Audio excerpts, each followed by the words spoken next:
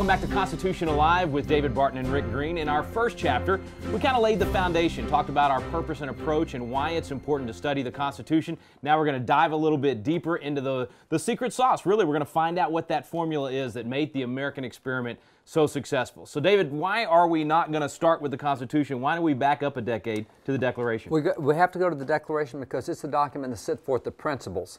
So the Constitution said, you remember those principles we, we gave you 11 years ago? Well, here's, here's the way we want them uh, applied. So the Constitution is the application of the principles. You have to go back to the principles. In the first session, we talked about kind of like baseball training camp, kind of like yeah. basketball camp. You go back and you get the basics right.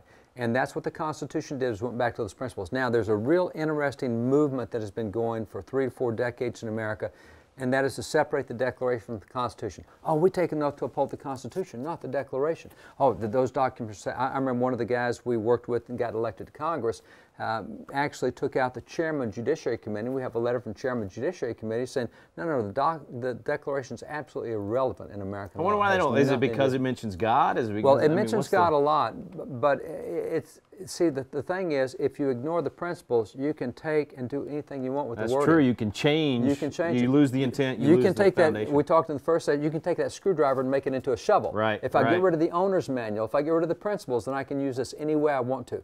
And so there is the movement to do that. Now, there, there's four reasons, real simple reasons that people need to know of why you do not separate the Declaration from the Constitution. You're going to talk about this in, in Independence Hall. And, and, why we have to study the Declaration to even understand the Constitution You cannot correctly. understand it. Yeah. You, you, will, you can never properly interpret and understand the, because the, the key is knowing what they were trying to do. Because yeah. that's, that's what you said. Well, they were trying to do certain things. Who cares if we've got cars and internet?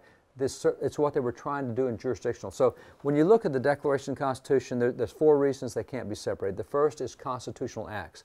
The Constitution itself dates itself to the year of our independence. It does not date itself to what they did in 1787. That's not when they started numbering. The Constitution says we have done this Constitution in the 11th year of our independence. So, the, so they saw that as the beginning. They saw, they saw the, the Declaration as the beginning, See, and therefore part and, of it. And that's what we still do to this day the current president, when he signs a presidential act, now these are early presidential acts. This one happens to be from, from John Quincy Adams.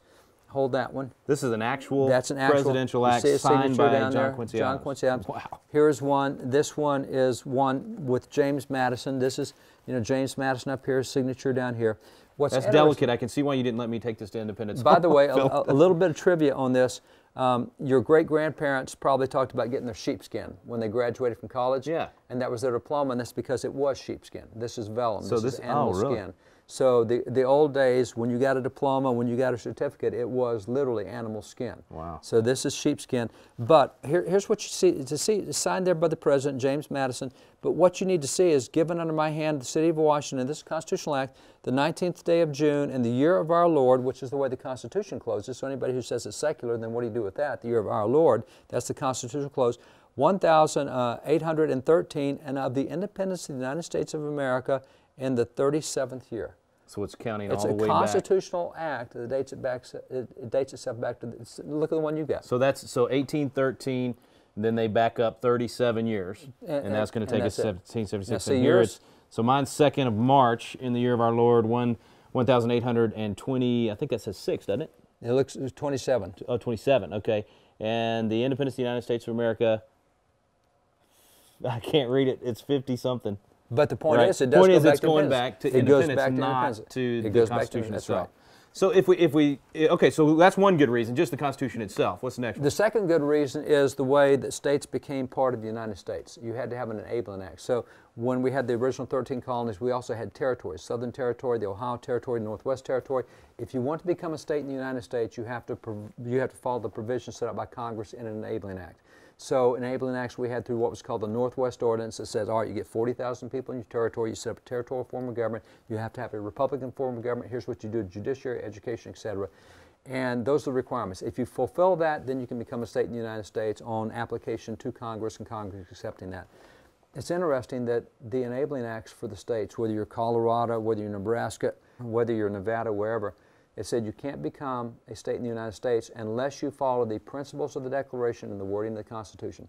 So to become a state, the two documents were joined together. Saying we don't want you part of our nation as a state unless you principles of the Declaration, you get those the principles wording of the Constitution. So that's the second reason. The third reason we point to is the U.S. Code's organic laws. Now, the U.S. Code annotated is what lists all the laws of the United States with all the decisions on by courts, telling you how they're currently interpreted.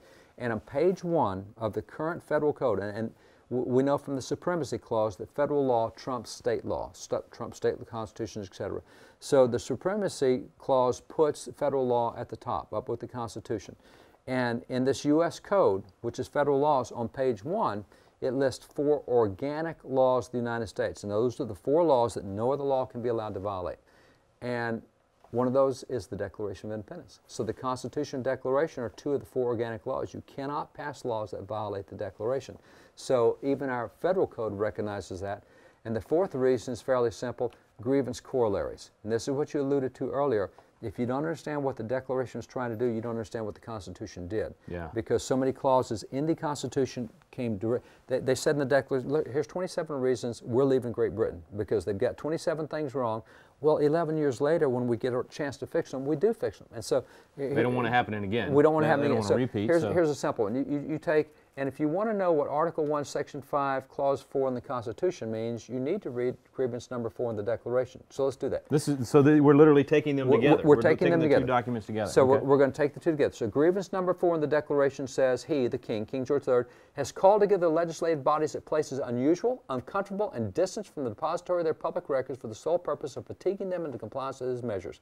We had Congress that says, state, state legislators said, we're not doing what the King wants. It says, okay, you're not going to meet in Williamsburg anymore you're going to meet out in the boonies out He's here. just trying to make it difficult That's right. keep them from All meeting. your government documents are there in Williamsburg as a Virginian, but we're going to have you meet out in the boonies. Now let's see you get the documents. Let's see you refer to the laws. And, and so, he, and it was for the purpose of fatiguing them into compliance with the measure. So we don't want that happening in the Congress, so that's why in the Constitution we're specifically told neither House during the session of Congress shall, without the consent of the other, adjourn for more than three days, nor to any other place than that in which the two houses shall be sitting. You can't send us somewhere else, and it specifically gives that as a, as a corollary. Same thing if you want to know what Article 1, Section 4, Paragraph 1 and 2 means, you got to go back and read grievances 5 and 6. Grievances 5 and 6, again, we're talking about King George III and the British. It says he's dissolved representative houses repeatedly. So he, he didn't like what they were doing. He would just wipe them out, as he did in Massachusetts. You're, you're, you're out of session. Your session just ended by my order for opposing with manly firmness his invasion on the rights of the people. And that's what Massachusetts legislators are doing, standing for North Carolina, etc. Yeah. He has refused for a long time after such, so he wipes out the legislators, and then for a long time he's refused to cause others to be elected. He wants us have, let us have new elections. Basically taking away our right to representative government. That's yeah. right. Whereby the legislative powers, which are incapable of annihilation, in other words, legislative powers are supposed to be there. Government is ordained by God. You're supposed to have those powers. They've been returned to the people at large for their exercise, the state remaining in the meantime exposed to all the dangers of invasion from without and convulsions within. We've lost our ability to have civil government. We're now in anarchy. Setting us up for easy invasion, easy. Because nobody can make decisions or protect Yeah. us. So Constitution says specifically, the times, places, and manner of holding elections for senators and representatives shall be prescribed in each state by the legislature thereof, but the Congress may at any time by law make or alter such regulations except as to the place of choosing senators. The Congress shall assemble at least once in every year, and such meetings shall be on the first Monday in December unless they shall by law appoint a different day. Quite frankly, you can't wipe out Congress and tell us we can't meet for years. We're going to make sure we get together once every year. In other words, you're not going to be able to dissolve us. Yeah. We've got to be together, and we are going to get together at least once a year, so you can't wipe us out for five years and tell us don't come. Constitution took care of that grievance. It's, it sets up the playbook. It sets up here's the parameters. That's here's exactly how things right. are going to happen. You can't change That's this right. because we don't want this to be willy nilly to whatever the king wants. That's right. This has got to be set in stone. and two, two more quick examples. Okay. Article 1, Section 8, uh, Paragraph 4, Clause 4. If you want to know what that means, you read Grievance 7 in the Declaration. Grievance sec- 7 in the Declaration says, He, the King, has endeavored to prevent the population of these states for that purpose obstructing the laws for naturalization of foreigners, refusing to pass others to encourage their migration thither. He wants our numbers as small as he can get them, and he won't let us grow, and he's not letting us have immigration. By the way, immigration for a long time, including through the early presidents, was a state issue, not a federal issue. Interesting. States are the ones who set immigration laws. And so you're not immigrating in the United States, you're immigrating, you're going to live in Virginia, you're going to live in North Carolina, you're going to live in Georgia. So the states are the ones who set the immigration laws originally under the Constitution. So it said what's happened is we're trying to get more people in our states to populate, and he won't let us do that. And so the Constitution says, ah, How'd they we'll solve it? fix this. The Congress shall have power to establish a uniform rule of naturalization. You're not going to be able to shut down immigration. You, you can't shut it down. And here's the fourth and final example. Uh, if you want to understand Article 1, Section 8, Clause 9, you have to read grievance number 8. And it says he's obstructed the administration of justice by refusing his assent to laws for establishing judiciary powers. Now, this is one of, there's four grievances in the Declaration where the Founding Fathers are complaining about what he was doing judiciary. And they specifically said he doesn't let the judges be accountable to the people. He's given them lifetime appointments. He's running the judges, not us. And so he's obstructed our administration of justice. He wiped out for a while jury trials, etc. John Adams went through the roof when they didn't have jury trials. Mm. But the, the, the British were taking judges to make policy. They were taking judges to keep the Americans pushed down. So what we did was, say, well, we're not letting that happen. Congress shall have power to constitute tribunals and periods of report. Congress is the one who takes care of judges. Congress is the, we're not going to have the king telling, having judges tell us what to do. We're going to have Congress over yeah. the judges. So it, uh, you cannot understand the Constitution without the Declaration, and, and that's because of Constitution itself dates itself back there. Uh, the enabling acts, you can't be part of the United States if you don't follow both documents. Our current federal code says you have to follow both documents, and you just don't understand the Constitution without the Declaration. Yeah. So there's no way to separate the two. You got to put them together. Got to study both That's the them. framework for it. That's yeah. the framework. All right, well, let's dive into that framework. We're going to get into some of those seeds of liberty. Let's go back to the place where those seeds bore fruit. We're headed to Independence Hall.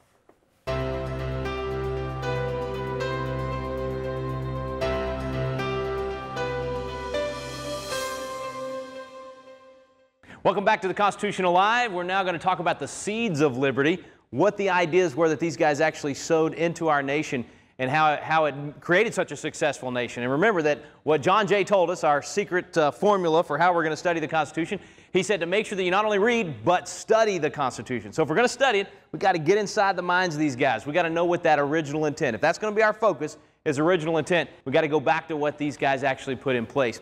I always think it's important not just to study the Constitution, but to study the Declaration with the Constitution. In fact, the founder said you really had to do that. I, I like the way John Quincy Adams put it. In my language, he said that it was the slab that the home of the Constitution was built upon, the Declaration was. But here's the way he said it The Declaration of Independence was the platform upon which the Constitution of the United States had been erected. The principles proclaimed in the Declaration of Independence were embodied in the Constitution of the United States. I, I like the analogy to a business. If you've uh, ever incorporated a business, you got your articles of incorporation, you got your, your bylaws. Well, your articles of incorporation kind of tell the world this is what we are, this is who we are, this is what we're about. And then the bylaws are the rules by which that company is going to operate. In this room, they gave us our Articles of Incorporation in the Declaration of Independence, the philosophy of America. It said, here's who we are, what we're about, and what we're going to do. And then the Constitution, that's our bylaws. That's the rules by which our nation operates. That's the rules of our nation. So we like to take them together. And I, I, find it interesting that when you look at them side by side, you find a lot of the grievances in the Declaration of Independence actually solved in the Constitution. Grievances that, that they said, we're separating from the mother country over this, and we want to make sure that our nation never does the same thing. Now, of course, if you, if you grew up like I did on, on Saturday morning watching Schoolhouse Rocks, anybody else watching? Okay, I'm the only one in the room. Anyway, Schoolhouse, you know, I'm a Bill, the little guy. Well, in Schoolhouse Rocks, what's the one reason why we declared our independence from Great Britain? What's the one everybody always talks about? Taxation without representation, right? That's the one we all know. 27 reasons. That was like number 17. It's way down on the list. You had religious liberty issues, you had judicial tyranny issues, a lot of things that we're going to raise later tonight. But all of these grievances in the Declaration, so many of them are mentioned in the Constitution. So let's start with the Declaration. And let's go back again to this room and these guys in this room and actually, let's, let's back up about a month before what we talked about earlier. On June 7th, 1776, Richard Henry Lee, right over here from Virginia, stands up and he makes the motion. He says that these united colonies are and of right ought to be free and independent states. And that's treason. He just committed treason right here in Independence Hall. He committed treason against the mother country. John Adams seconds the motion. Guy taking the journal scratches out both their names because he knows that's the two guys King George is going after right off the bat. They debate it. They talk about it for several days. They talk about what they should they even consider this. If they do consider it, how should they go about doing it? Talk, talk, talk. Finally, those five guys you see in the middle of the screen, those were the five guys that were given the responsibility for drafting the Declaration of Independence. And immediately you probably recognize Jefferson and Franklin. Uh, Franklin's on the right of Jefferson there, and to the far left is Adams. Two guys in the middle there, that's Roger Sherman and Robert Livingston. Livingston actually ended up not getting to sign. Here he's the guy, the chairman actually of the committee to write the declaration, but he gets called away and doesn't get a chance uh, to sign. But anyway, so these guys come back with the Declaration. As you know, Jefferson did all the heavy lifting. In fact, right around the corner, they've rebuilt his, his apartment there and they put all these original furnishings back in. It's incredible. You can go in and see the, the, the, the place where he wrote the Declaration of Independence. You can see the things that he wrote it with. It's just phenomenal. But so he, he drafts it, brings it back in. They debate it here for several days, and they're debating and debating. Finally, one of the guys has had all he can handle. I mean, he's just tired of the talk. He wants some action. He's not a well known founding father. I think he sat over in this corner over here. His name was Larry. And Larry got up and he said, Guys, it's time to get her done. I'm waiting for a ranger to tackle me for saying that because that, that did not happen. Okay, it wasn't, it wasn't Larry. It was actually John Witherspoon. And it was, it was Witherspoon from New Jersey right here saying, you know, it was kind of a 1776 version of Get Her Done because John Dickinson had actually said, the people are not ripe for revolution. So Witherspoon gets up and he says, they're not only ripe, but rotting. He said, let's take the vote. They took the vote. The vote failed. You actually had three states that said no initially South Carolina, Delaware, and Pennsylvania all said no. Now, Delaware was close, man. Delaware was a tie. Delaware was a one to one tie, and the third delegate, Caesar Rodney, wasn't here. He had been called back home a brigadier general, and, and instantly Thomas McKean, the yes vote, he knows, man, if Rodney was here, we could get independence. But if Rodney doesn't get back by the time we take the vote again, independence is going to fail. So he sends a dispatch back to Delaware, tells him, find Caesar Rodney, tell Rodney to get back here. We got to have him or independence fails. Rodney gets the message, gets on his horse, takes off, rides all night long. Now, this is 80 miles, right? 80 miles from Delaware back. Now, 80 miles, I know for us that doesn't sound like much, right? I mean, I mean today, 80 miles is, you know, if, if my wife's driving, that's 30 minutes or so. That's just not going to take that long. But, but, but, but back then, 80 miles on horseback at night, Rodney had cancer of the face. He's hidden branches. It's a painful experience. Rodney gets here, busts through those doors just in time to cast a tie breaking vote for Delaware. Delaware goes from being a 1 1 tie to being 2 to 1 for independence. And in fact, Caesar Rodney's pen, the actual quill that he used, is sitting right there on that desk. That's the pen that he used to sign the Declaration of Independence. Well, you say, okay, fine, Rick, that's Rodney. That takes care of Delaware. And by the way, if you, I don't know if you collect the, the quarters from each state, but if you get the one from Delaware, on the back of that quarter, they chose to put Caesar Rodney. Why? Because of his midnight ride to save independence. So that takes care of Delaware. What about Pennsylvania? Well, Pennsylvania had, had initially been four of them against independence, three of them for independence. So that means that we lose. This happens in politics all the time. When the opposition is not in the room, take the vote, man. Get the vote done before they get back.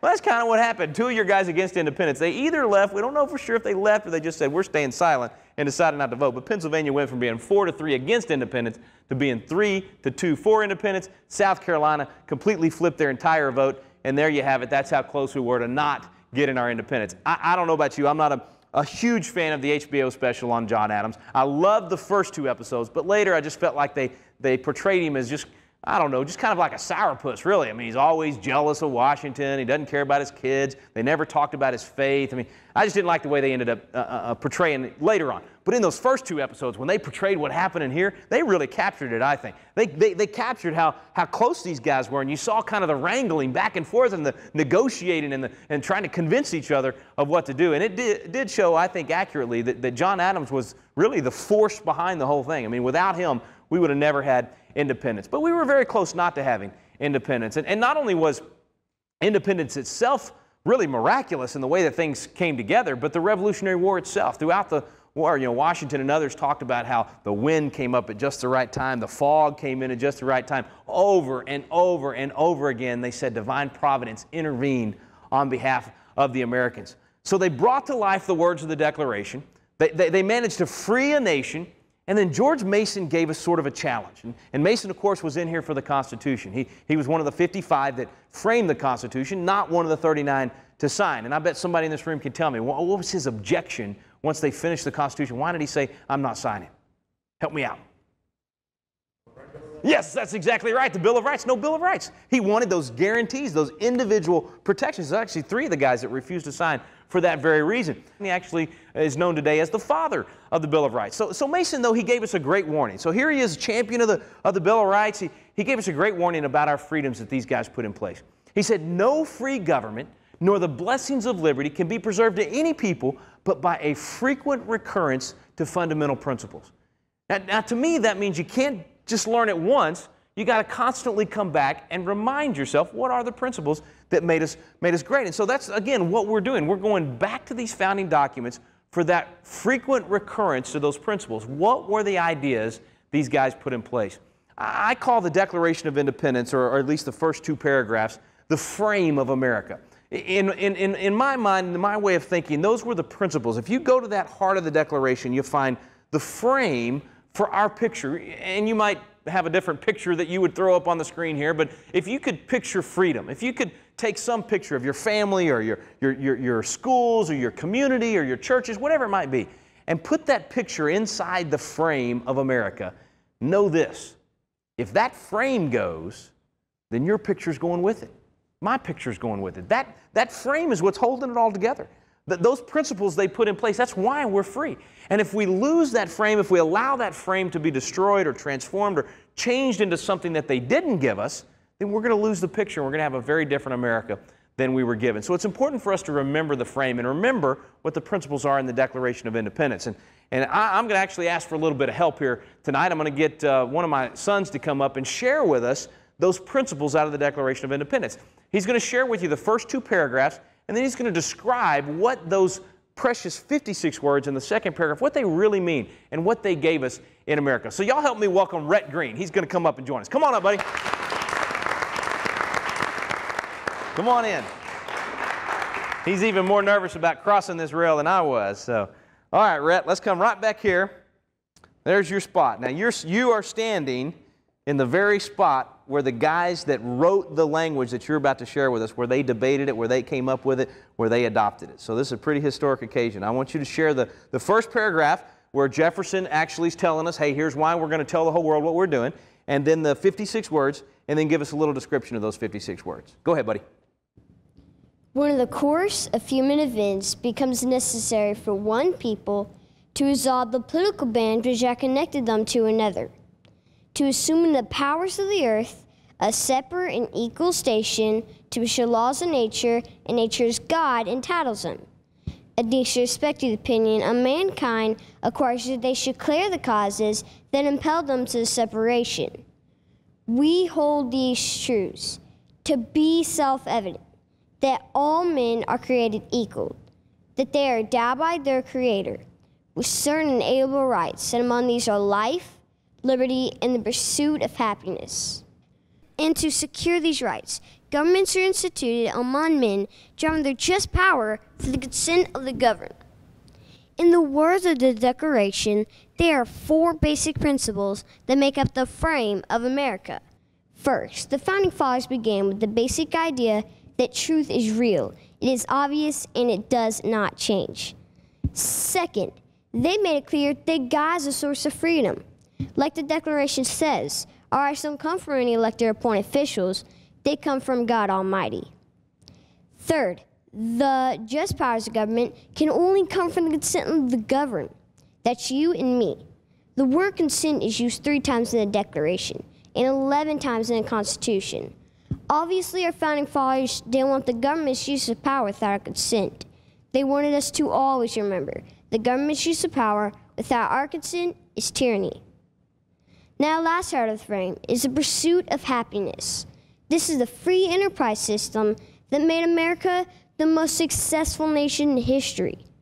Thomas Jefferson once said, A wise and frugal government that shall lead men free to regulate their own pursuit and industry improvement and shall not take from the mouth of labor bread it has earned. This is a sum of good government. Now let's all do our part to preserve those four principles. Welcome back, my dad.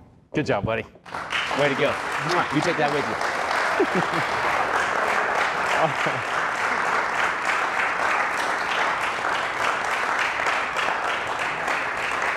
All right, our, our nine-year-old scholar on the Declaration of Independence. We got to do something about these shy, poorly socialized homeschoolers, I guess. I don't know.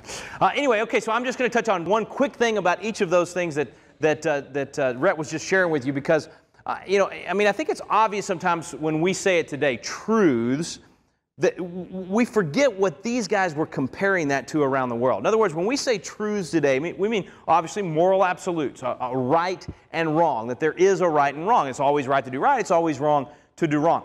put yourself back in, in their shoes, in, in their day, and what those words meant. For instance, George Washington put it this way He said, Of all the habits and dispositions which lead to political prosperity, religion and morality are indispensable supports. So, so he's saying that if you're going to have a formula that works, if you're going to have a nation that's successful, of all the pieces of that formula that you put in there, you've got to have religion and morality. And without those two, it's just not going to work. And a lot of my friends are always saying, well, Rick, man, I'm into liberty. You know, I, am into freedom, but don't mention God. You know, don't, don't, don't bring the Bible into this. Don't do anything. You know, they, they don't want any of that. They say, hey, I can be a patriot without that.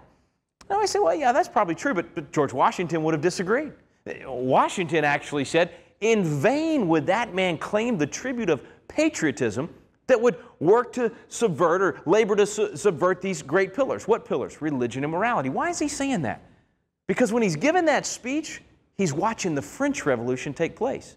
So, see, the American Revolution was, was based on the idea of right and wrong and, and, and freedom or liberty under God, liberty with God. The, the, French Revolution was the opposite. The French Revolution was liberty without God. It, it, was all about everybody do whatever's right in their own eyes. It's just two different philosophies. Theirs led to chaos. It led to the guillotine. It, it, it led to destruction.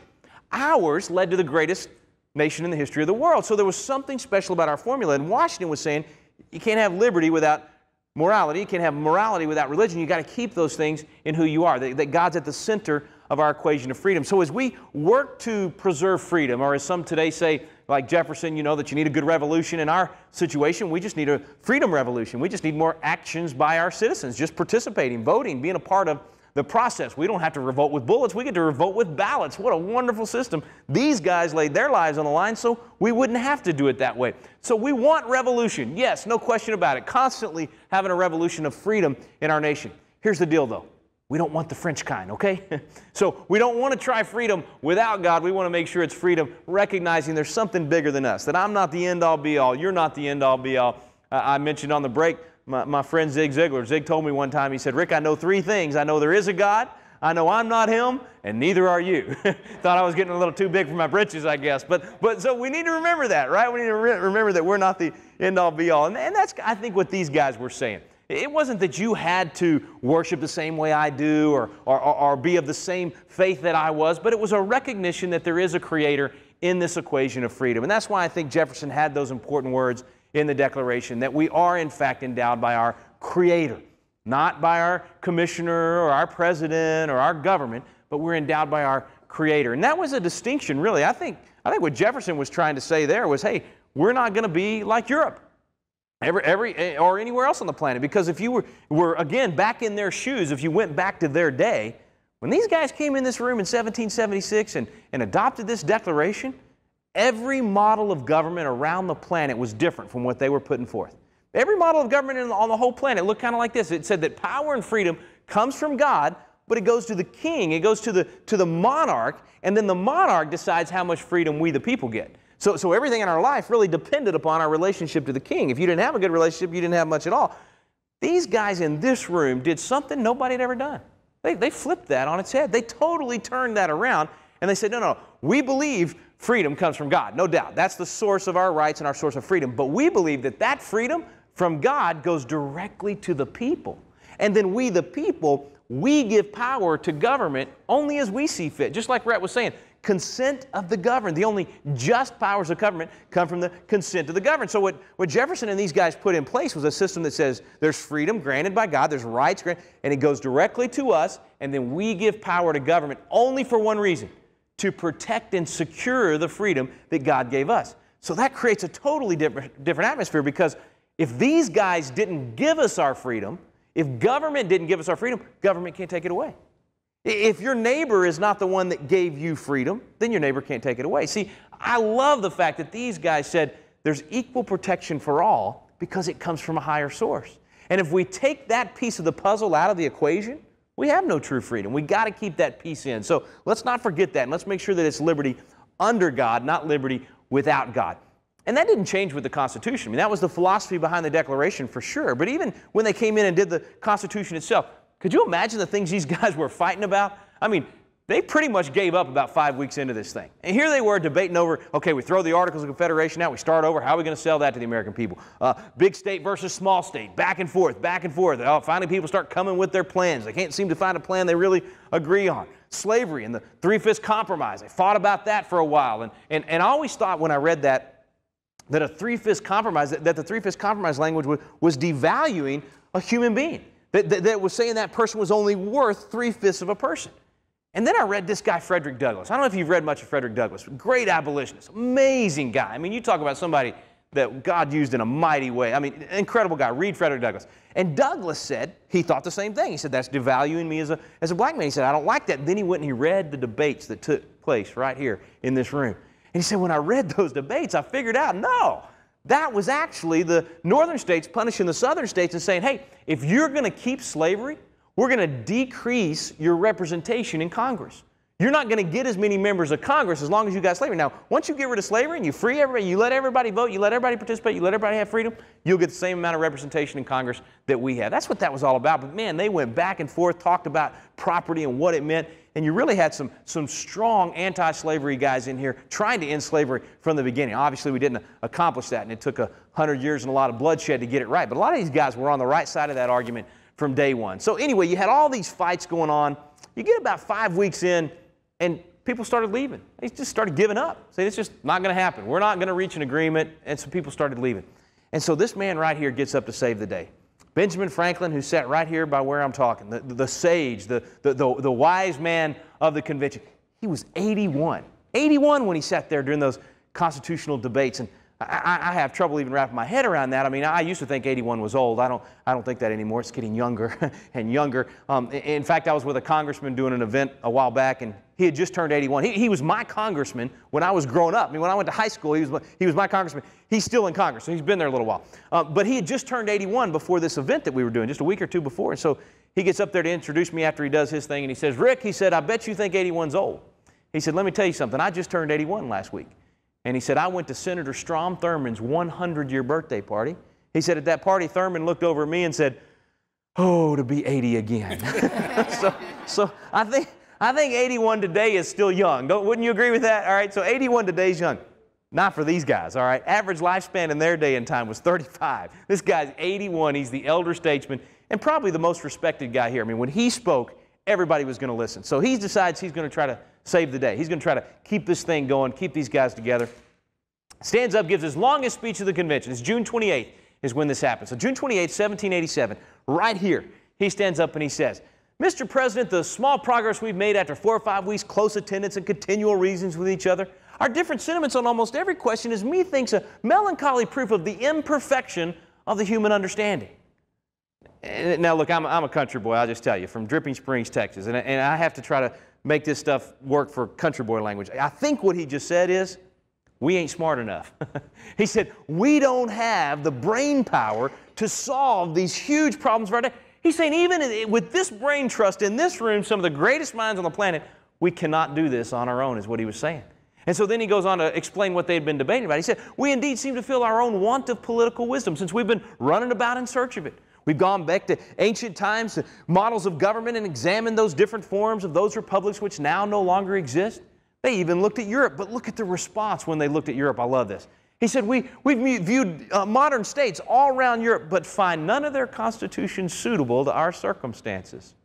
Hmm, I just wish our leaders in Washington would still look to Europe and go, nah, that doesn't work for us. You know, there, there, was a lot of wisdom in this room when they looked at Europe and said, we don't want to be like them, right? We want to be our, our own. Anyway, so he goes on to say, in this situation of this assembly, groping as it were in the dark to find political truth and scarce able to distinguish it when presented to us, how has it happened, sir, that we have not hitherto once thought of humbly applying to the Father of lights to illuminate our understanding? So Benjamin Franklin stands up and says to these guys after five weeks of debate, hey, time out. We're trying to solve the biggest problems in the world, and we haven't yet gone to God and said, Would you please help us out? We can't do this on our own.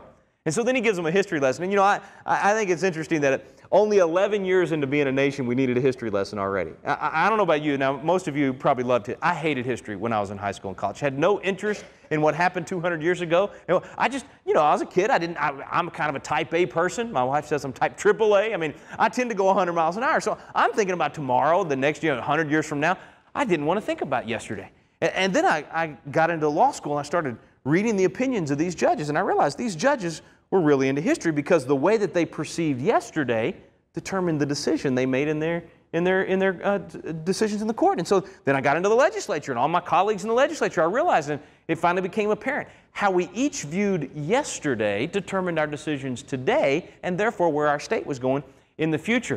Of course, I, I also find it interesting in the good book. God says, "Remember the former days." He talks about studying our history. How many times throughout the Word of God is there constantly a reminder here's what I was doing here, and here's what happened here constantly looking at history. So I think it is important for us to study history, and that's why I love being here now. And I've fallen in love with history because of how much it influences where we're going. But I just, it's hard for me to imagine. These guys were all there. I mean, they knew what had happened in the Revolutionary War, and yet, even though they were there and part of it, Benjamin Franklin had to stand up and give them a history lesson 11 years after what took place in this room for the Declaration. Here's how he put it he said, In the beginning of the contest with Great Britain, when we were sensible of danger, we had daily prayer in this room for divine protection.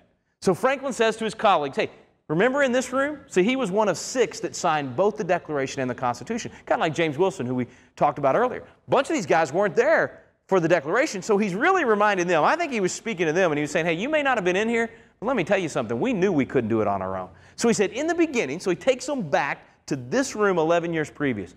He said, Our prayers were heard and they were graciously answered. All of us engaged in the struggle must have observed frequent instances of a superintending providence in our favor. Then he asked the same question from right here that I think we need to ask today. He said, Have we now forgotten this powerful friend? Do we imagine we no longer need his assistance? I think that's kind of where we are in America. Do we really think we can solve these massive problems we're making, uh, that we're dealing with just on our own? Do we think we can do it on our own?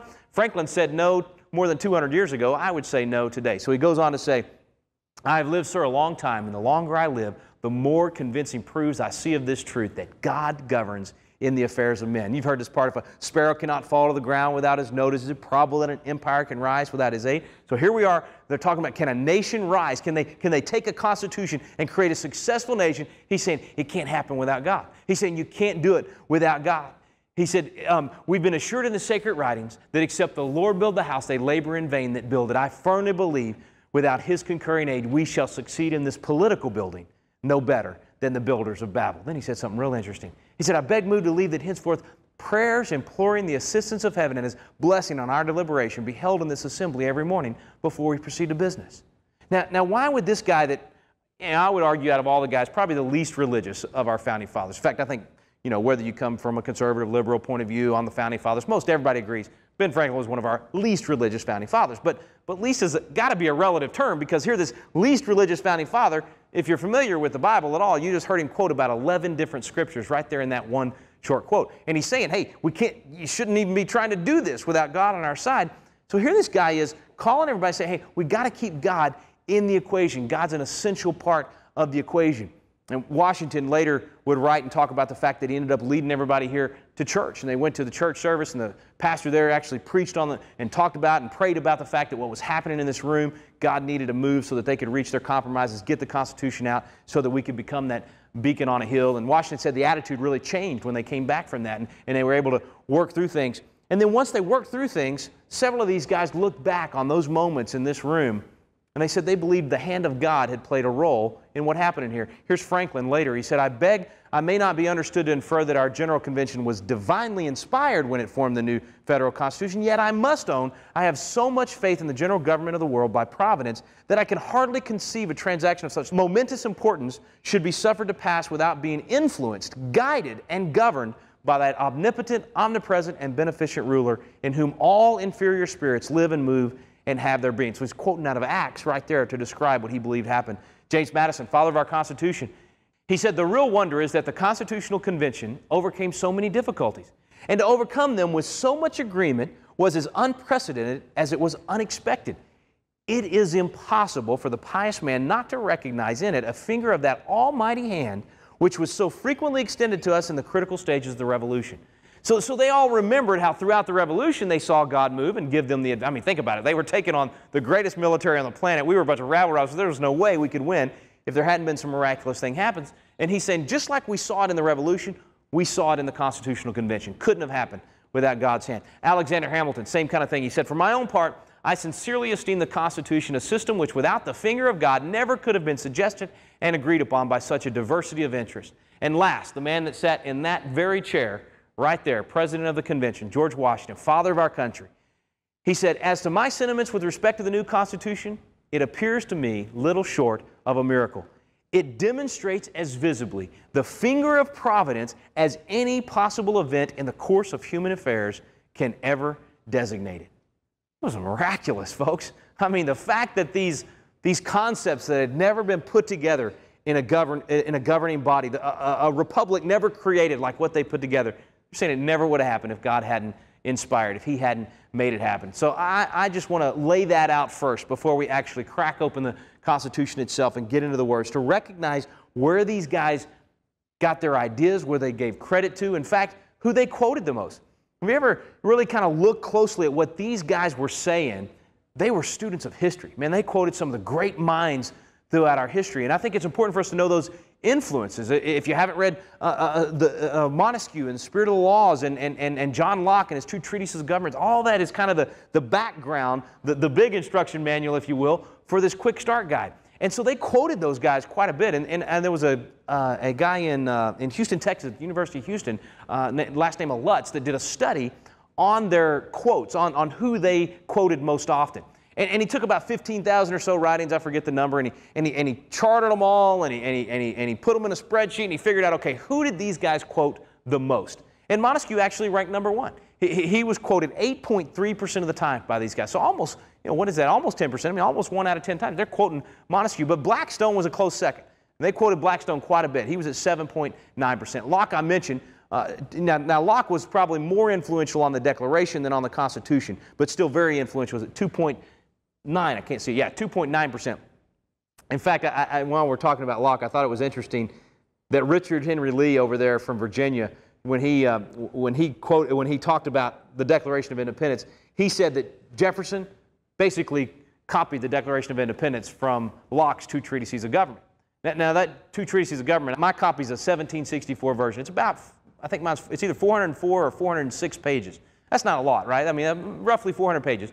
And in those roughly 400 pages, there's about 1,500 references to the Bible, quoting scripture on what government ought to look like. Now, you do the math, that's about three to four times on every page that John Locke is quoting the Bible, and that's the book that Jefferson copied the Declaration, according to Richard Henry Lee, who was, who was in this room. Now, you, you'll also find phrase after phrase in the Declaration of Independence uh, that, it, that was originally preached by a guy named John Wise. If you ever get a chance to read some of John Wise's sermons, these guys actually reprinted his sermons and put them out for publication because they were like the seeds of liberty. There was so much in there that when sown, man, people would, they would get excited about freedom and they would want to be uh, uh, patriots and want to, want to be part of the revolution. So guys like that were big influence. But here's the, the most influential source on all these guys in the room. I bet you can guess what it was. Is the Bible. 34% of the time. Man, that's I mean that's one out of three. They're quoting the Bible. So a lot of people say the Bible didn't have any influence on the Constitution. I would disagree completely. If you read these guys, who they quoted, the phrases in the Constitution, they, they trace back to the Constitution, I mean to the Bible. I mean, it's just over and over and over again. So, so the idea, uh, uh, just in, in summary, of truths out of the Declaration, the Creator being the source of our freedom, those were important concepts from the philosophy laid down in the Declaration before they even came to the Constitution itself. And the last thing I'll comment on what uh, Red had said about the pursuit of happiness, just give you a quick example on this whole free enterprise thing for America, why these guys knew that the pursuit of happiness was important, why free enterprise was a bedrock principle of our way of life. You got to remember, as students of history, they were looking back to how things first started here on this continent. And you might remember Bradford tried socialism in the beginning with the Pilgrims. And, and actually, it didn't work out so well. Now, it was, it was socialism. I mean, Karl Marx would have loved this. The way they did it was they said, everybody's going to work Whatever you work for and the food you grow, you're going to put it in the public storehouse, and then everybody gets to take from it as they need it. Oh, and we'll all love each other and we'll hold hands and sing kumbaya. And, it, and it sounded great, right? But what happened? Bradford said it was terrible. It didn't work at all. He said, you know, guys like me, I'd have been over there saying, hey, why should I work? I get all the food I want. I'm going to play golf. I mean, I don't think they play golf back then, but whatever you do in, in the, with the Pilgrims, I'm going to go play some games. Anyway, so he, he said, Bradford actually said people started faking being sick. They were actually faking illness. They, they, they, they, were, they were not working and they were complaining. The ones that were working complaining, saying, hey, man, Green's over there not working. I'm feeding his family. Why didn't. So here's what he said he said, community of property was found to breed much confusion and discontent. So, what was his solution? What did Bradford implement that we actually, these guys here, said was so important? Free enterprise and private property. Imagine that. He said, okay, everybody, you get, you get your own property. You can grow stuff on that property, and then you can eat it or you can sell it. You can do whatever you want with it. It's totally up to you. And within two years, those guys were exporting corn instead of starving to death. Free enterprise, private property, it worked, and these guys knew it. Here's how Bradford described it afterwards. He said it made all hands very industrious, so that much more corn was planted than otherwise would have been by any means the governor or any other could devise, and saved him a great deal of trouble and gave far better satisfaction. So, in other words, that system worked, and these guys knew that, and that's why they put it into our system in the pursuit of happiness. Now, here's where we come in. We are the governed, right? So it requires our consent for our system to work. If we want just power in our government, then we've got to give our consent. I like uh, uh, James Garfield. President Garfield was a, a, a pastor and also president of the United States, and he put it this way He said, Now more than ever before, the people are responsible for the character of their Congress. He said, If that body be ignorant, reckless, and corrupt, don't be hollering out any congressman's name, okay? If that body be ignorant, reckless, and corrupt, I know we all pictured somebody, but if it be ignorant, reckless, and corrupt, it's because the people tolerate ignorance, recklessness, and corruption. He said if it be intelligent, brave, and pure, it's because the people, I like this word, demand these high qualities to represent them in the national legislature. If the next centennial does not find us a great nation, it'll be because the people who represent the enterprise, the culture, and the morality of the nation. That's us. That's the people in this room now, the people at home watching, the people watching on the DVD. We are the enterprise, the culture, and the morality of the nation. He said if we don't have a great nation, it's because those people did not aid in controlling the political forces. Now, controlling there simply means giving or refusing our consent, exercising our freedoms, living out the Constitution and the Declaration. Last quote on this. One of the guys in this room, John Francis Mercer, he actually told us that this document right here is not enough.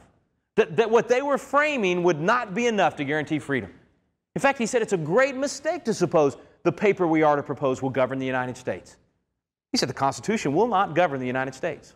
Say, wait a minute, I thought we came here to study the Constitution because it's governing the United He said, no, it's the men whom it will bring into the government. See, it's going to set up the rules for how we choose our leaders and how they're supposed to govern. So it does set up the rules, but it's not going to govern us. It's the men whom it will bring into the government and the interest they have in maintaining it that will govern them.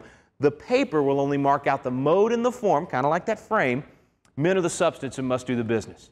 What he's saying is this document's great, but if we, the people, put people in office and on the bench that are willing to ignore it, willing to shred it, willing to distort it, willing to govern around it, it just doesn't mean anything anymore. The document doesn't govern us. The people we put into government is what governs us. So if we want to uphold this document, then we have to make wise decisions in choosing our leaders. We have to be part of the process even as it goes on, even after you choose the leaders. Being engaged in our government, watching what's happening, letting our voice be heard constantly, just like these guys did in their lifetime. So that's that's the philosophy that they gave us. There is a God, there, there are truths, there's right and wrong worth fighting for, worth dying for. Our system of government will work if we'll just be willing to give or, or refuse that consent. Being engaged will make those seeds of liberty spring forth. They'll give us a great nation of freedom. So now that we know the seeds of liberty, now that we know how we're going to do this, we're going to dive into the Constitution itself. When we come back in our next section, we're going to do kind of a, a 30,000 feet view, if you will. We're going to step back and look at the entire Constitution all at once, and then we'll start zooming into specific areas that are most under attack or most in question today Sort of like our, our quick start guide, we're going to look for those places we need to be plugging things in and making sure that they work. So when we come back, we'll talk about that 30,000 feet view. Establish justice, ensure domestic tranquility, provide for the common defense, promote the general welfare. Well, I guess you could tell Rick was having as much fun as uh, as you and I have. Well, so we were you in the teaching that. You're background right. watching Rick, so You're you had right. a lot of fun too. We love teaching those principles from that very room. Now, before we get to the, the 30,000 feet And by the way, I think that was the third thing was to teach the rising generation. I think that's the third objective. there you go, getting those little guys in the there. That is the rising generation. So, in our next chapter, we'll, we'll get the thir- 30,000 feet view on the Constitution itself. But before we do that, some more on these seeds of liberty. Yeah. Rick was doing a little bit. He did four principles Yeah. out of the Declaration. You go further in a, in a couple of other paragraphs there and Yeah. broaden it out to six principles. Yeah, Break Red's got some really good application, like the free market systems they showed there. there there's so many good things there. Um, let's go back and, and back up just the overview of the, of the Declaration because it's National Birth Certificate, but there's 155 words up top that set forth six immutable principles. Okay. Those six principles are followed by 27 grievances, and then the declaration that because of these principles, the violation of them 27 different categories, we're now going to become a separate nation. So when you look at those principles, let's just take clauses out of those 155 words because this is the essence, this is the key. By the way, this is what you're working on with other states uh, with the Celebrate. Uh, Celebrate Freedom Week. Celebrate Yeah, Freedom sure. Week is to get them to learn these kind of principles. Yeah. So what you've got They'll just is get into the founding documents. Get in they'll the founding documents, real simple stuff. So you have the clause in the Declaration that says all men are created equal. They're endowed by their Creator. Now, what does that tell us is our first principle that there is a divine Creator. Now, today we're told, well, you can believe that, but not everybody believes in the Creator. So that's why government can't take a position favoring religion over non-religion. That's what the courts have told us for these 40 years of judicial activism. Yeah. Uh, wait a minute. That document, it says that it's the unanimous declaration of the 13 states of America. That doesn't sound like private individuals talking. This is the unanimous declaration of all the elected officials from those 13 states sent to the Continental Congress and later on. This is on. what we agreed on, right? I mean, this- this is what brought us together. This, this is our philosophy. public declaration Yeah. to the world of why we're doing what we're doing. Why we're doing what we do because we in America believe there is a divine creator, and that becomes the first step in limited government. You cannot have limited government if you think the government's at the top of the, the pecking order. Yeah. If government's at the top, then what limits it? There's got to be something higher than government. If there's nothing higher than, so we said, hey, there's a creator that's higher than everything, and that's why government is limited. It doesn't get to do. It's not the creator. It doesn't get to do everything the creator does. It's below the creator. Yeah. So our thing is, all right, we're, we believe there's a creator, we've been created, and the creator gets the right to tell his creation what to do, so government, listen up. And that So one principle has a huge impact on what kind of nation you're going to be. It's a huge Yeah. impact. Uh, you, you find me any secular government in the world that's a limited government, can't do it. It's an oxymoron. You cannot find it. France, Greece, maybe China, no. We can't go to Cuba. Uh, can't do Sweden, can't do Norway, uh, can't do Chile, can't, you can't find a If, secular if government. God's not in the equation, government has to be even bigger. Government is even More God. con- that's yeah, that's a great, great That way to it. put it. Yeah. There, there will be a supreme authority, and if it's not God, it will be government. Yeah. So if you if you don't get the declaration concept right, that God's at the top, then government thinks it's at the top, and therefore, when it gives you a right, it can regulate that right, it can repeal that right, it can take it away. If God's at the top, if God gives you a right, government, you keep your stinking hands off that because it doesn't belong to you, it belongs to God. It's a jurisdictional issue. Good. So that's the first point. The second point is based on that. It says they're endowed by their Creator with certain inalienable rights. So number one, not only is there a Creator, He gives us a certain set of rights. These aren't given by government. They come from the Creator. Therefore, government, these don't belong to you. It's, you know, you and I both live in Texas. I, I'm a cowboy, got the ranch, got all the stuff, and I got the pickup that goes with it. And I got but a, no cowboy hat worn here today. Not on on this. Not not here. Very I've often seen on the ranch. That's right. times. Yeah. I like my pickup. I got a red Ford pickup, and I've looked over at yours, and you got a gray Dodge. I don't like gray. I'm going to go over and paint your pickup red because I like red pick. I can't do that. Yeah. I don't have the jurisdictional authority to go over into something that doesn't belong to me and change it. And that's what we do with government. Is, hey, government, these rights over here, they come from God. They don't belong to you. You didn't give them. They come from God. Therefore, you cannot go over there and mess with them. Same way I can't go mess with your pickup. I may not like a Dodge, may not like gray. Doesn't matter. I don't have the authority to do anything to your That changes everything It when changes you really everything. think about the authority. Because a nation without God, that government has the authority to do anything they want. Because, like you said, they're God. You choose any other nation in the world that is secular, and, and you know, in Germany right now, they literally, it's a crime to homeschool your kids because you're not, you're not the one over your. In America, we've held for generations a position Supreme Court articulated in, in the case called Pierce versus Society of Sisters, Meyer, Nebraska, that it's the fundamental right of parents to direct the education, upbringing, and care Not of the their children. state. It's the not parent. the state. But over there, no, no, no. Parents, you belong to the state. The kids in Scotland, we were talking to a guy recently who said in Scotland, from the time you're born, every kid is assigned a government official liaison Oh, to the I state. remember that on our radio That's show. right. Yeah, I started thinking about. I, imagine that if every kid's assigned They somebody from the that state every kid belongs to, monitor the state. them. That's right. Yeah. Hmm. Every kid belongs to the state. Therefore, we have to assign you a government official the time you're born, time you come to this earth. You don't belong to your parents. Wait a minute. We believe you do. We believe that the parents are the authority because God made the parents. So the these initial principles really matter in your in your day-to-day make- life. they It's not a just huge- books and you know old documents. This this impacts and, our and lives it's not today. just well if you believe in god that's fine that's your private belief but don't bring it in public with you if i don't bring it in public with me you don't have a limited government You're going to lose all those. you're going to lose all the inalienable rights so that's the second point Okay. the third point is very simple it says that to secure these rights governments are instituted among men now we have the purpose of government purpose of government is to protect inalienable rights. Those god-given rights government exists to protect those god-given rights. Now significantly government does not exist to make sure we all have a job or that we've got a great economy. Government exists to make sure that we have a certain set of rights that nobody can violate, nobody can take away. Now, once we've done that, and if you do that, then you will have a prosperous government. You will have a limited government. You will have freedom. And with freedom, we, we take off. I mean, we're gangbusters with freedom. We invent things, we find things, we discover things, we're entrepreneurs. Uh, this 4% of the world population in America produces more than 96% of the world every year with inventions and, and patents and everything else.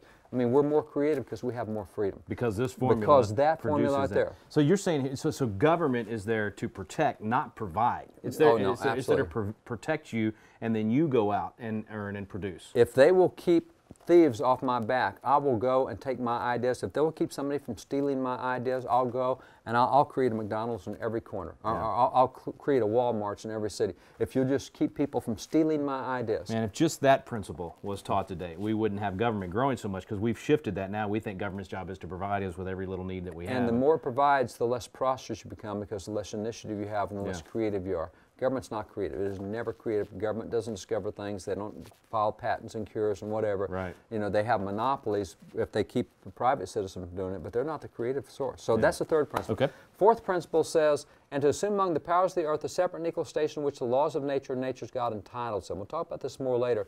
But that told every person in that generation that there is a fixed moral law. There are certain laws you cannot cross, and they are called the laws of nature and nature's God. Now, we don't know what that means today, but we'll show you literally the books where the founding fathers took that phrase, what it meant, how they understood it. But there are certain absolute rights and wrongs. We live in a culture today that says, well, if it's right for you, it's right for you, but I don't think it's right. And no, you can't have a culture that says, oh, well, rape is okay sometimes, but not okay. And you know, theft is okay if it's for the right reason. You can't be Machiavellian. The end justifies the means. You know, rape's okay sometimes, theft's okay sometimes, and you know, a white lie doesn't hurt anything. No, you got to have fixed rights and wrongs. Perjury is not okay if it's for a good reason. You can't perjure yourself under Right. oath if it's a little while. No, you have to have fixed absolutes. but if and that's is what no moral law, then then anything then you goes, are. right? If there's no moral law, it becomes anarchy because I will decide what is right and Then wrong. I get to decide what's right for me. And if I have a, if my AR-15 has 30 shots in the mag rather than yours that has 20, I'm more right than you are. Depends on how good of a shot you are. Oh, that's true too. It's true. but I get your point. No, that's exactly right. I mean, now there's no fix, like you said. Those John Quincy Adams said at that point you have the law of the tiger and the Yeah. shark. That's where gangs rule. That's where guys with, with the biggest fists rule. Yeah. That's not what you You have to have fixed moral laws that nobody can transgress. You don't cross these laws. The fifth thing you have from the Declaration says governments instituted among men deriving their just powers from the consent of the governed. Now, what, what you get with this is what we call the consent of the governed or the will of the majority. This is, there is nothing in the Constitution that ever allows anything smaller than a majority to win a vote unless you're in the U.S. Senate today. And because of the filibuster, 40 beats 60 every time. Founding fathers opposed that. That's why they did not allow filibusters. Was the rule of majority. Now, this is point number five, and it comes only after you've said there are inalienable rights, and only after you've said there is a fixed moral law. We don't get to vote on whether rape will or won't be a crime because that's part of the fixed. That's part of the laws of nature. Nature's God. Yeah. We don't get to vote on, on whether you're going to lose your right to keep and bear arms because that's an inalienable right. The right to defend yourself is a God-given right. God gave it to you, not the government. We can't vote that we're going to take that away from you. So the consent of the governed is good when you talk about do we want the sidewalk to be four feet wide or five feet wide or six feet wide? Do we want the speed limit to be 45 or 55 or if you're in Texas 85? you know, that's what we can do on the consent of the governed. But we cannot vote on inalienable rights or fixed moral laws. That's the principles of the Declaration. And the sixth principle Con- is consent of the government doesn't overrule those, those That's right. basic truths. And, and, and government exists to of nature, protect those truths, Yeah. and, and with those truths, we can have a civilized culture and move forward. We So it doesn't mean we just put our finger to the wind and No. whatever's popular at No. the time changes those fixed points. That's now we can put our finger to the wind on sidewalk sizes Right. and speed limits, but we can't put our finger to the wind on moral laws and on inalienable yeah, rights. that's a great point. that whenever any form of government becomes destructive of these ends, it's the right of the people to alter or to abolish it and institute a new government. It's destructive of what ends? If you get a government that does not do the first five things, if you get a government that says there is no creator, uh, the creator does not give you certain guaranteed rights, government does, we don't exist to protect those rights. And by the way, there is no moral law, there's no rights and wrongs except what we tell you to do, and there's no consent of the government. We will decide what you, if you get a government that won't uphold the first five things, it says it's the right of the people to alter or abolish it, institute a new government. That is the sixth principle of government.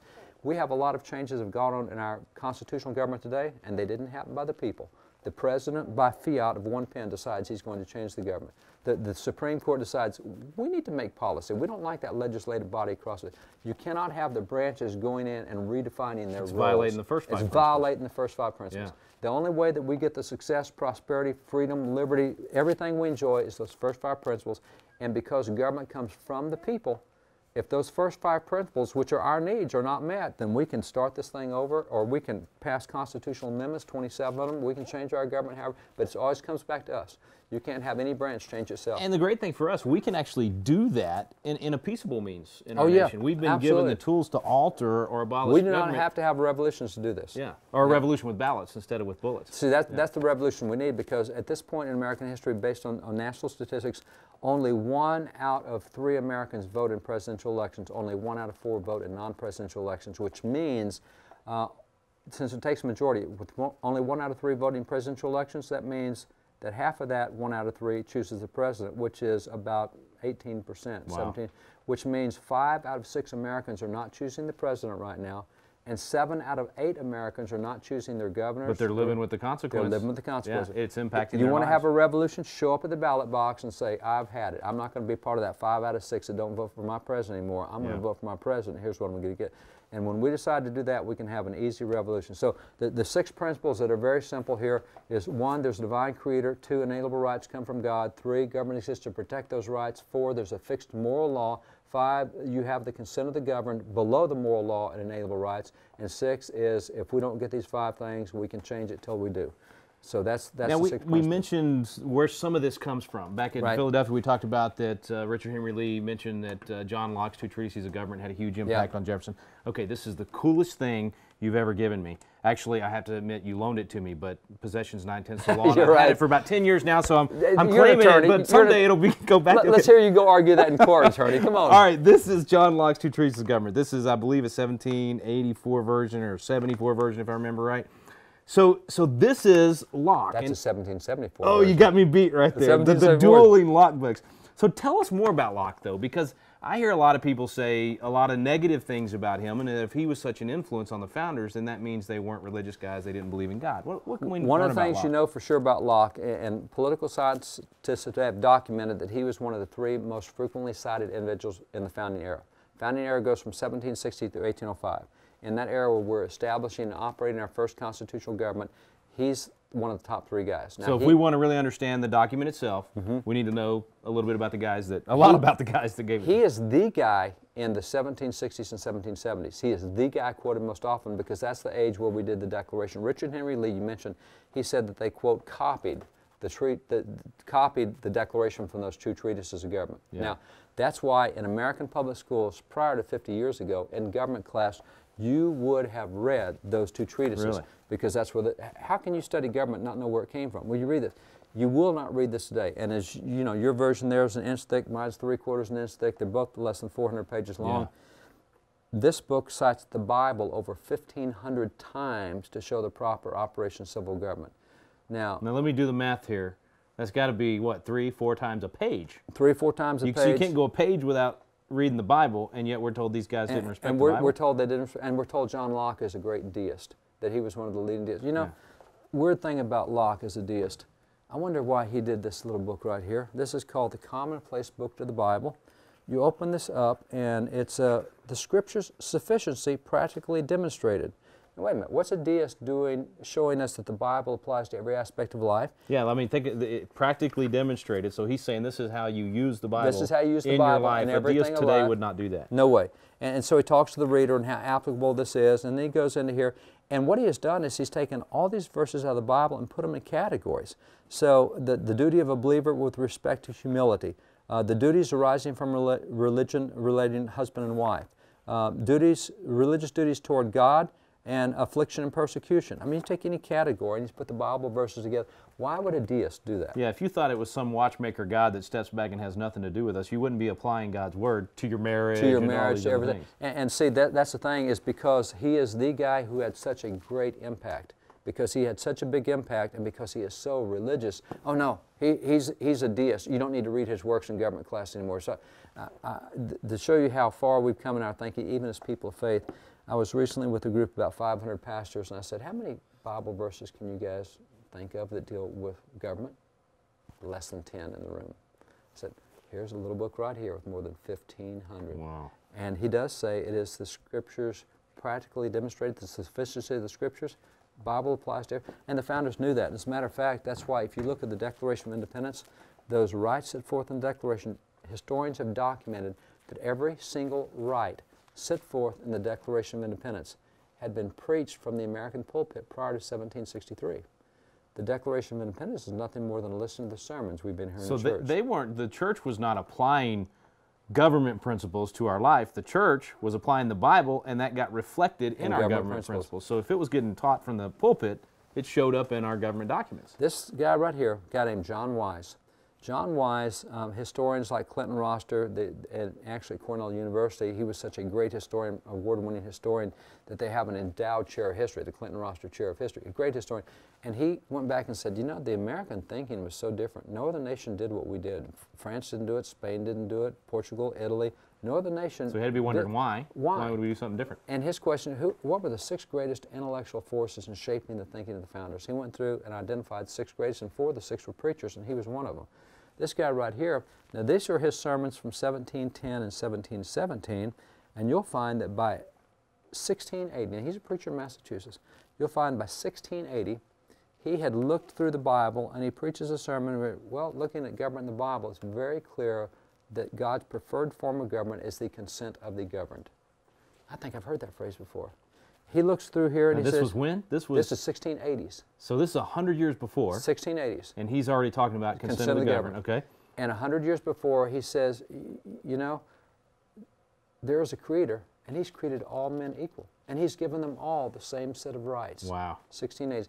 And, and he goes and he says, when you look at what the Bible says about taxation, it is very clear that taxation without representation is tyranny. No kidding. Right here. So this is, I mean, when we say seeds of liberty, he was literally planting a hundred years before what would bear fruit That's it. Well, in, let- in our founding document. Let me show you how significant this was because he did this in 1680s. Tell me what the date of publication of that is right down there. Oh, I have to read Roman numerals. This is going to be difficult. Okay, so this is, this is 17. Is 72. Is it 72? I was going to say 52. So that's 72. Okay, so 17. 17, So the founders then, in their era. You know who the Sons of Liberty are? yeah. All right. Who are great Sons of Liberty? So that was uh, Sam Adams started it, Sam right? Adams and John Hancock Okay. and James Otis and all those guys' sons.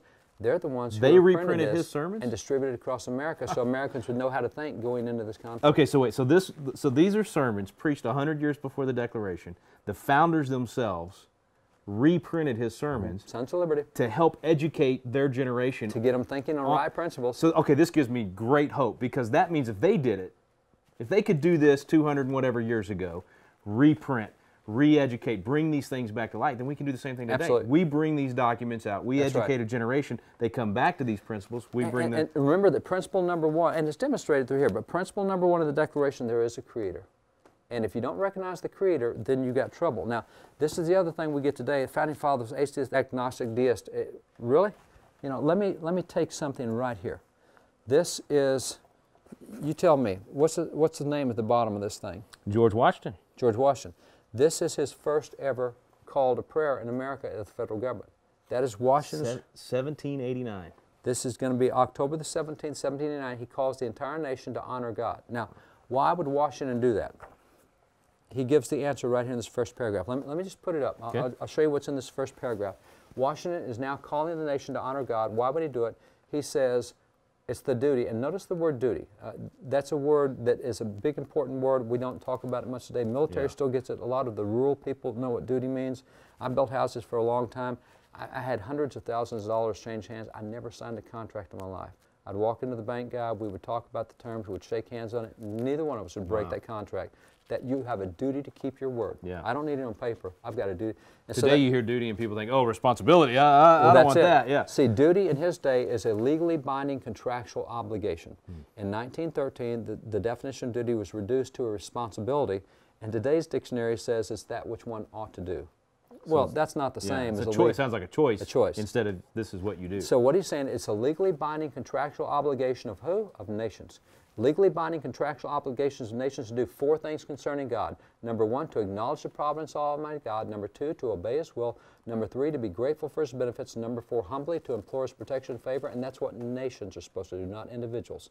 So they believe this philosophy that you have to honor and recognize God as but, a but, but this is just the father of the country. I yeah. what is, I mean, he's one of the great deist founding fathers, which is what we're told in school but he's today. obligating the nation. He's, saying obligated the nation has the nation, the nation, Yeah. not individuals. The nation has. So all this stuff about official acts and oh, you can keep your religion at home and you can talk about God, but don't even have a you know public day of prayer. Remember when our, our governor Rick Perry couldn't even pray with people in Houston? Yeah, he got because it- together- because he's governor. He's not allowed to pray with people because it's official. Uh, exactly what we want is official prayer. See that? What's that? Proclamation for Thanksgiving. It's handwritten.